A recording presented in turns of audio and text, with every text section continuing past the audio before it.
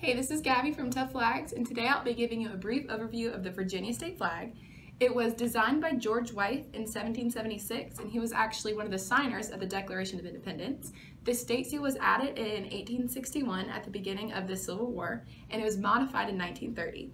It now has sic semper tyrannis, which actually means thus always to tyrants.